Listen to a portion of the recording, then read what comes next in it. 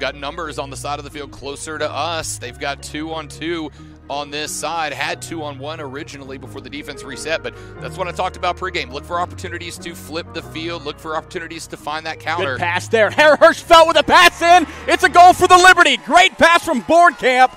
Gets it through a fusion defender.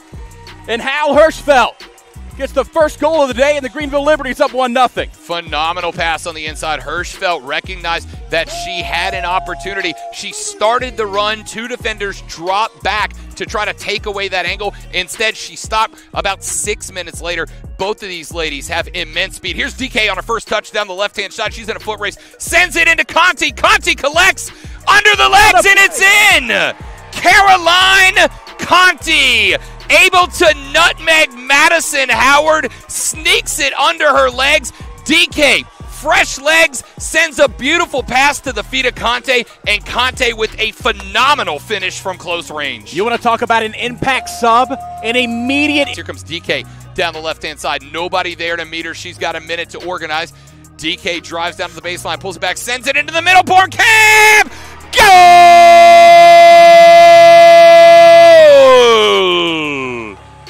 What a pass from DK to set up Bornkamp. No panic, no hustle, sweep the leg, find the net. Beautiful goal. It's impressive that.